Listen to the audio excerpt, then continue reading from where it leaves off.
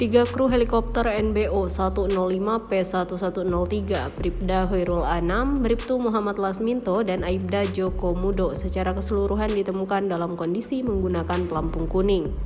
Pelampung itu sepenuhnya menempel pada bagian leher. Pelampung ini saat ditemukan ada yang masih terisi angin, khusus untuk korban Bribda Hoirul Anam dan Bribtu Muhammad Lasminto.